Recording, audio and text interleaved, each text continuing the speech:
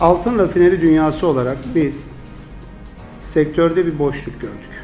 15 yıldır sektörün içindeki tecrübelerimden gördüğüm kadarıyla biz kaybediyoruz. Nerede kaybediyoruz? Geri dönüşümde.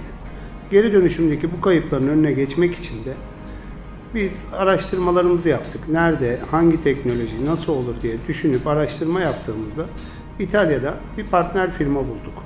Bu işi 30 yıldır yapan, Avrupa'daki kurduğu tesisler, dünyada kurduğu tesislerin örneklerini gördük. Ve ramatçılık dediğimiz aslında metal geri kazanımı, değerli metal geri kazanımını ile alakalı bir tesis kurduk. Bu tesisi diğerlerinden ayıran ne? 50-60 tane ramatçıdan bizi ayıran faktör ne? Bizdeki olay tamamen üst teknoloji. Mesela bizdeki yakma fırınlarımız termodinamik bilimi kullanılıyor. Türkiye'de böyle bir bilim dalı bile yok. Ama Avrupa'da bu bilim çok iyi işliyor. Biz malı kaybetmeden kazanıyoruz. Ama diğerleri önce kaybedip sonra geri nasıl alırıma bakıyor. Bizim yakma ünitelerimiz, asit makinalarımız tamamen kapalı sistem olup kendi içerisinde attığı dumandan işte çıkan asit gazına kadar sisteme geri dahil ettiği için bizi diğerlerinden ayıran minimum artı 1 veya 2 puan.